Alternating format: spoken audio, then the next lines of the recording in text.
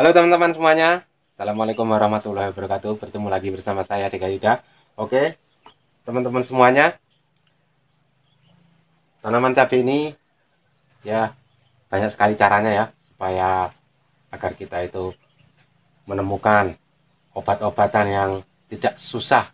Tentunya tidak usah harus beli obat-obatan yang cukup kalau bisa itu kita dapatkan dari sekitar rumah kita sendiri. Nah, di sini dalam video kesempatan kali ini saya akan membagikan sedikit ini ya.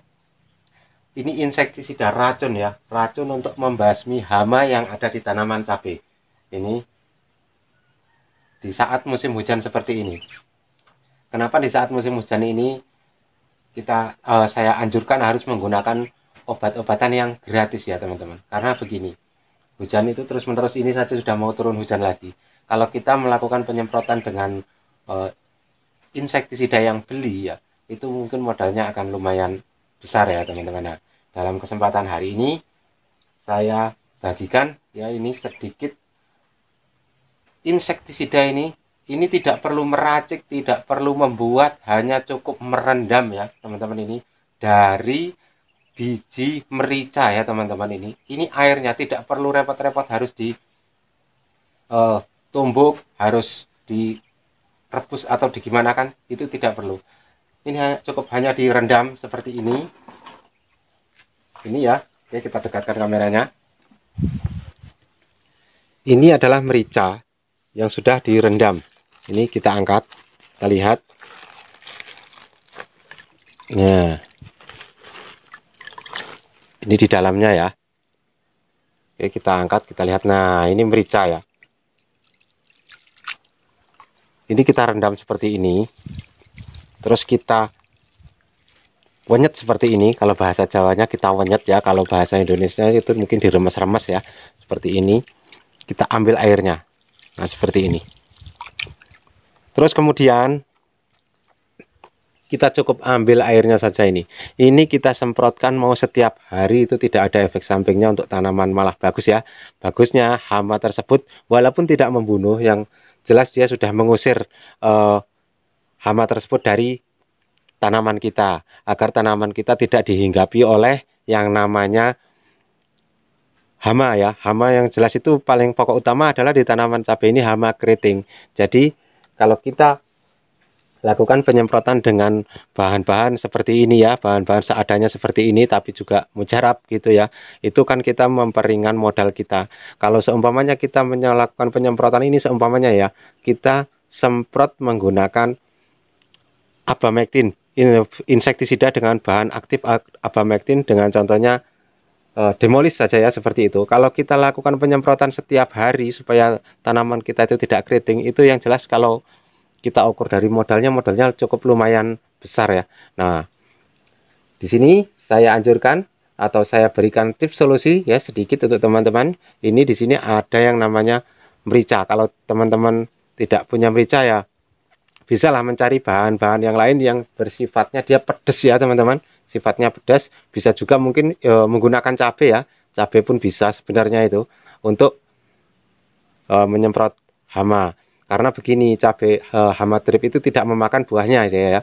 Hanya memakan nutrisi dari tanaman gitu ya. Jadi dia tetap takut dengan yang namanya uh, rasa pedas ya. Seperti ini cabai uh, apa merica ini ya. Oke di sini kita saya ambil. Ini sudah ada spray ini ya. Ini kalau kita punya banyak ini ini kita bisa uh, gunakan ini secara langsung ini ya. Ini tidak perlu dicampur-campur dengan air yang banyak ini cukup seperti ini saja. Kita ambil airnya. Secukupnya. Nah ini ya. Atau lebih bagus lagi sebenarnya kalau kita mau bikin kita rajin itu kita eh, kalau bahasa Jawanya kita sangan ya sangrai atau kita oseng-oseng gitu supaya dia mudah ditumbuknya itu kita buat seperti tepung terlebih dahulu terus kita campur menggunakan air ya. Kira-kira air tersebut sudah pedes rasanya. Seperti ini ini tidak perlu dicampur lagi dia sudah pedes. Oke kita semprotkan ke tanaman cabai yang sudah ada yang itu keriting ya punya saya teman-teman.